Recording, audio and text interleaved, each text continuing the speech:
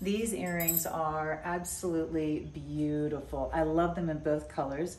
This is a soft frosted white feel, beautiful, beautiful texture and detail on the setting. And then we have this gorgeous kind of almost an aqua chalcedony look that you see into that is so beautiful.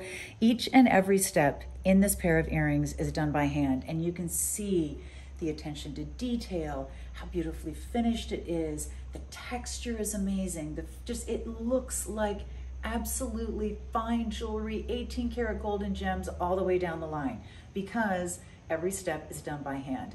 This is one of those beautiful pieces of jewelry that is made in the USA and is so beautiful. It is gonna make you feel gorgeous every time you wear it. I love it in both colors. I think it is absolutely stunning and I cannot wait for you to get them.